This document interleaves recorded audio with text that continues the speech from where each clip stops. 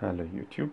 So my last video you saw two microwave oven transformers directly on mains, short circuiting, making pretty impressive sparks. Which is cool but unfortunately in this way they get really hot and I nearly burnt out two of, the, of those. And that sucks. But recently I came across a cool channel where someone um, made a resonant circuit with those. Which means there are capacitors in series with the secondary coil. So if you short circuit them with the capacitor in series, it starts to resonate inside.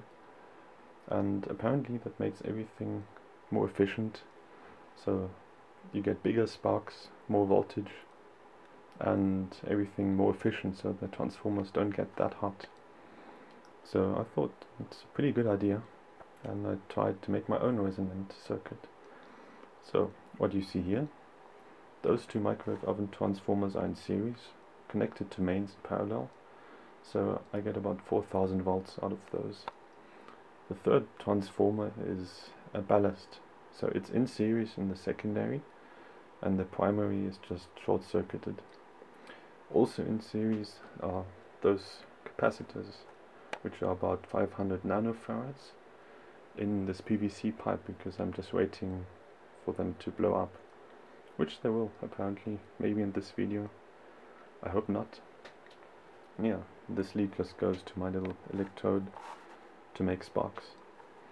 So the idea is to tune the whole thing to run at 50 Hertz. So I connected everything in parallel and made a little impulse on the capacitors with a 9 volt battery and measured the response I got with my scope. Which you can see here. Get it focused, there you go. That's just the reading or the oscillation I get when I give a short impulse with 9 volt battery. And it's about 50 Hertz more or less. So I guess that should work. And let's see if it makes a difference. So for the first test I will disconnect the capacitors. And yes they are discharged otherwise I would not be touching them. There we go. So we just have those two transformers in series also in series with this ballast. Alright, let's see how big the spark is when I do that. Fortunately I have no tripod so I just have to balance this here, hope it doesn't fall down. Get it focused. Alright. Switch it on here.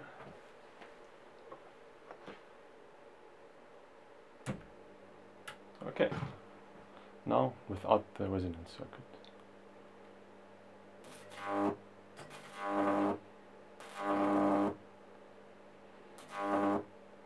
Which looks okay.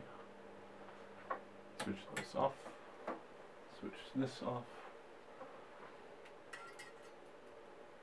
And now I'm going to connect the capacitors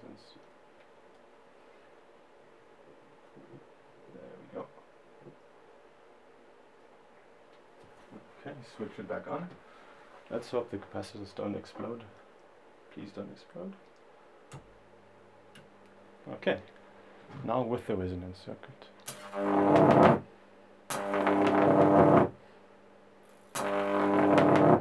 Oh my.